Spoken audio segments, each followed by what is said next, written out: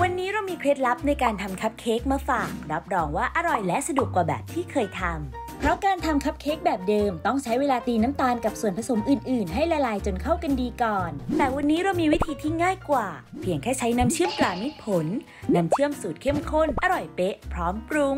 วิธีทำเริ่มจากทำส่วนคัพเค้กก่อนค่ะ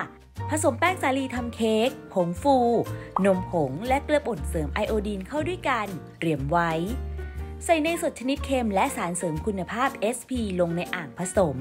ตีด้วยความเร็วปานกลาง จนกระทั่งขึ้นฟู ใส่น้ำเชื่อมปลามิตรผล ตีต่อที่ความเร็วปานกลางอีก 5 นาที ใส่ไข่ไก่ตามด้วยกลิ่นวานิลาชนิดน้ำ ตีจนส่วนผสมเข้ากัน ลดความเร็วต่ำ เติมแป้งที่ผสมไว้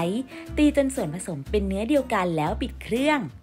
บีบเค้กลงในกระทงกระดาษที่เตรียมไว้นำเข้าอบที่อุณหภูมิ 350 องศาฟาเรนไฮต์หรือ 175 องศาเซลเซียส นานประมาณ 20-25 นาที จนกระทั่งสุกเตรียมไว้ วิธีทำบัตเตอร์ครีม เทน้ำเชื่อมตรามิตรผลลงในภาชนะนำเข้าแช่เย็นเตรียมไว้ ตีเนยสดชนิดเค็มและเนยขาวด้วยความเร็วปานกลาง ประมาณ 10 นาทีแล้วค่อยๆ เติมน้ำเชื่อมตรามิตรผลที่แช่เย็น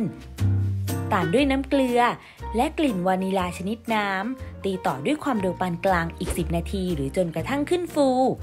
นำบัตเตอร์ครีมที่ได้บีบตกแต่งบนคัพเค้กที่เตรียมไว้ ตกแต่งด้วยลูกปัดหลากสี พร้อมเสิร์ฟค่ะ เพียงเท่านี้ก็จะได้คัพเค้กที่เนื้อเนียนฟูนุ่ม อร่อยและน่ารับประทานค่ะ